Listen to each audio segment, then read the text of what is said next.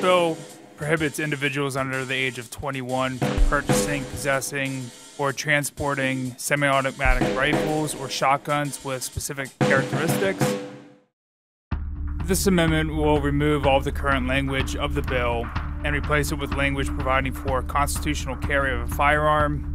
This is a flagrant abdication of our responsibility. We passed the language in this amendment once, and then it passed through the Senate and again through this committee, and it was vetoed. This is not what we're supposed to be taking up. We should be talking about actually addressing whether or not 18 to 20 year olds should have assault weapons. And I think, as recent events indicate, the answer to that is no. But we're instead doing permitless concealed carry again. This is ridiculous.